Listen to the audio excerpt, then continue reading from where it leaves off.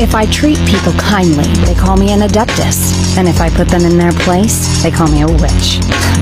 The one thing you'll never hear them call me is human. They all seem to agree that I'm fundamentally different.